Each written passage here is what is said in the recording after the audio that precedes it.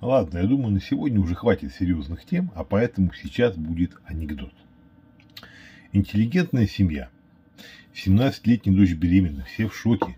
Мама пьет волокордин и утирает стезу кружевным платочком. Папа угрюмо пьет мартель 20-летней выдержки. Все ждут приезда виновника. У подъезда останавливается красный Феррари. Из него выходит степенный мужчина в костюме от Кардена и в туфлях из красного бегемота. Он поднимается в квартиру, останавливая все охи и ахи родителей, говорит.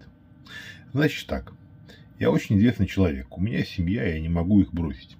Однако и вашу дачу я тоже не оставлю. Я решил так.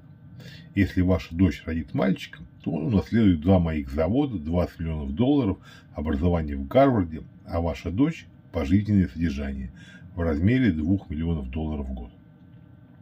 Если она родит девочку, то она унаследует мою фабрику, 10 миллионов долларов, образование в Оксфорде, ваша дочь – пожизненное содержание в 1 миллион долларов.